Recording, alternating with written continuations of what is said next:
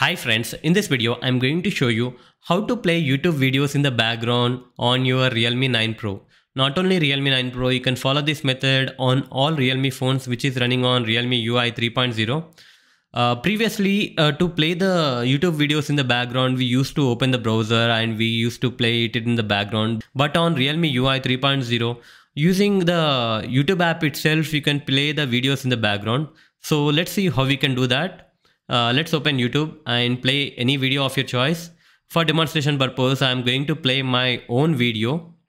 The video is playing. If you want to play this video in the background, you need to enable the smart sidebar on your Realme phones. If you don't know how to enable the smart sidebar, I will give the link in the description box. Please do check that. And here is a smart sidebar. Here you can see that when you open the smart sidebar, it will give you an option background stream. Click on that now the video is playing in the background. I am going to increase the volume.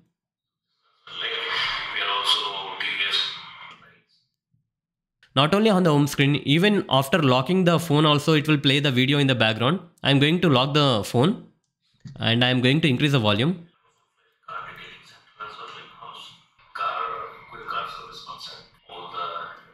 If you want to exit the background stream, simply click on exit background stream now here you can see that the YouTube app is showing up. Here is the YouTube app. So that's it guys. In this way you can play YouTube videos in the background using the YouTube app itself on your Realme phones. Hope you like this video. Please do subscribe to our channel. Thank you.